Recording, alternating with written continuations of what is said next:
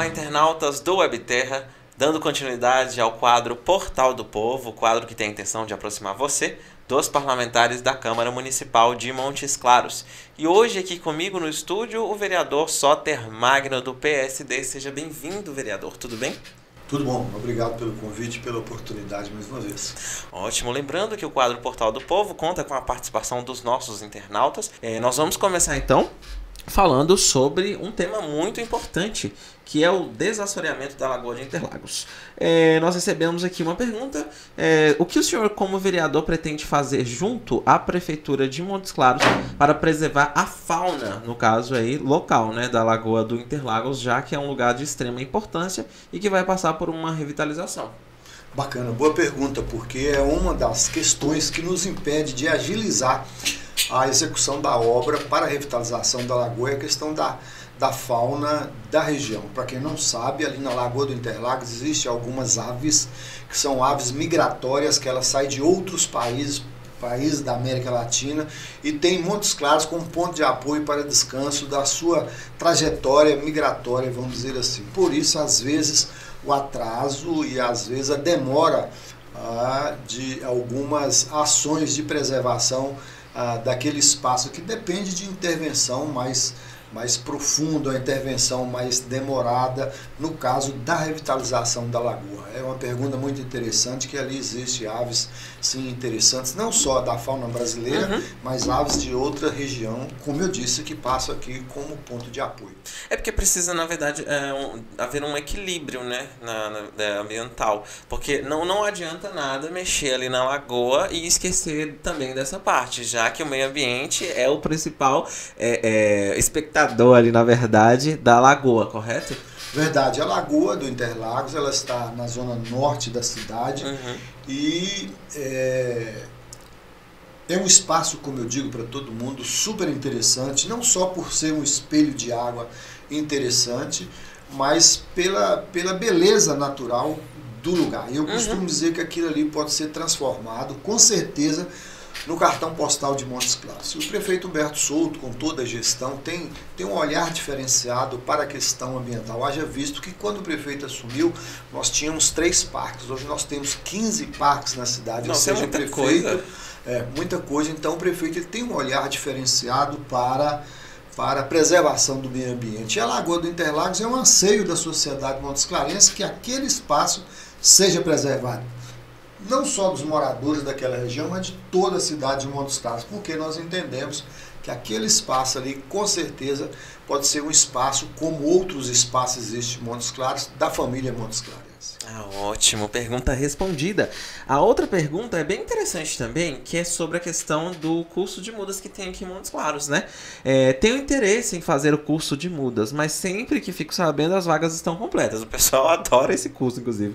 Tem como abrir turmas com mais frequência? Como que funciona? Bom, quando nós estávamos na Secretaria de Meio Ambiente, inclusive fomos nós que implantamos esse curso, porque a gente via a necessidade uhum. de ampliar o conhecimento na produção de muda. Todo mundo quer uma muda, todo mundo quer plantar uma árvore, Verdade. todo mundo acha uma árvore super interessante, bacana, mas às vezes as pessoas não sabem nem como produzir ou como é produzido uma muda.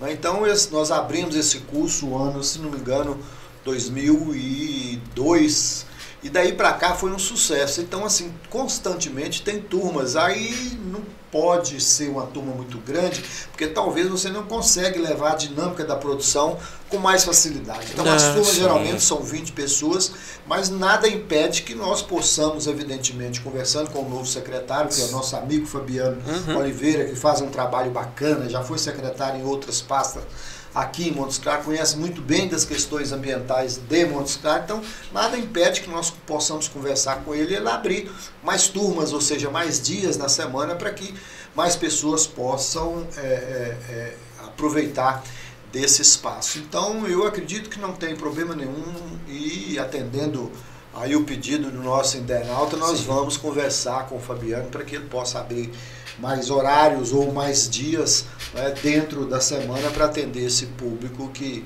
nós entendemos também que é pouco para a cidade de 420 mil habitantes. Muita e, gente. É, e, é, e é sim é super interessante a atividade de produção de mudas. Ótimo, pergunta respondida. Então agora nós partimos aí, como o nosso tempo é pouco, para a questão do balanço. Eu gostaria que o senhor falasse para a gente o que já foi realizado dentro desse seu mandato é, e lembrando que o senhor, no caso, já foi secretário, no caso do meio ambiente, dentro aí de 2024, perdão, de 2020 até 2024, né? Explica para o pessoal, então, e faça esse balanço, por gentileza. É, a nossa, a nossa bandeira sempre foi meio ambiente. Eu sou aposentado da Copasa, trabalhei 35 anos na Copasa.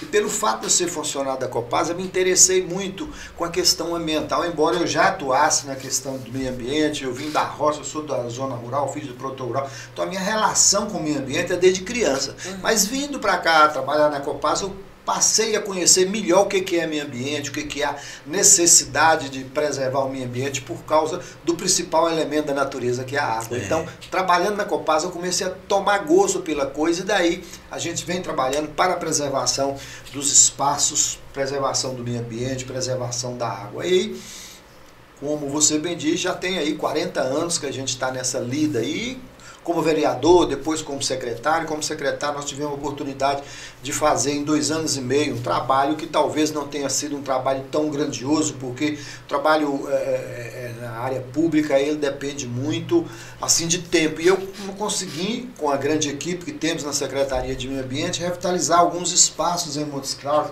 alguns parques, né? o Parque da Sapucaia, nós conseguimos abrir o Parque da Sapucaia, conseguimos revitalizar o Parque Municipal, revitalizar o Parque Sagarana, o Parque Canelas, o Parque é, das Mangueiras. Então, Montes Claros hoje é chamada de cidade dos parques. Montes Claros tinha essas áreas e precisava ter, ter uma turbinada, vamos dizer assim, porque aumentou muito o número de visitantes para essas regiões. E nós entendemos que com o apoio do prefeito Humberto Souto, a gente podia abrir mais esses espaços. E aí, estando lá na Secretaria de Meio Ambiente, nós conseguimos fazer com que Montes Claros tivesse é, um dos melhores parques da nossa região, que é o Parque Sapucaia, o próprio, como eu disse, o Parque Milton Prata. São espaços lindos, né? É, que precisam é, ser cuidado de uma forma diferente para que as pessoas possam ir, para as pessoas possam conhecer e gostar daquele espaço e trazer aquilo ali como qualidade de vida, que esse é o objetivo da preservação ambiental, melhorar sensivelmente e diretamente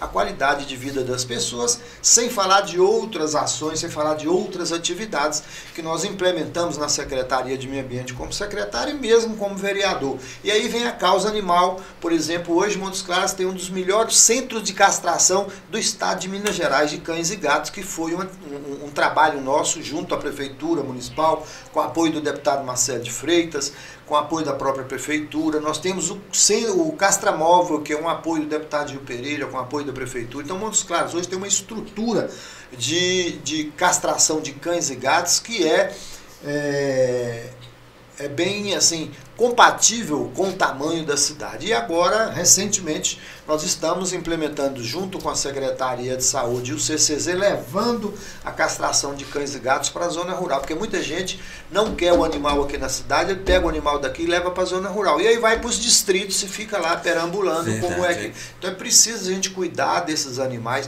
para que eles possam ter uma vida de qualidade e também os seus tutores e as pessoas que moram nesses espaços. Então a nossa bandeira sempre foi preservação do meio ambiente e bem-estar animal. E aí continuaremos trabalhando na cidade de Montes Claros com essa visão, com esses aspectos, sem levar outras bandeiras também que a gente trabalha, saúde, educação, mas diretamente ligado à preservação do meio ambiente e o bem-estar animal. Essa é a nossa bandeira, essa é a nossa missão. Perfeito, muito obrigado pela sua participação aqui no quadro Portal do Povo. As perguntas foram respondidas e você é, que está nos assistindo pode participar aí do, do nosso quadro, né? Portal do Povo. Um abraço e até o próximo episódio. Bacana, valeu.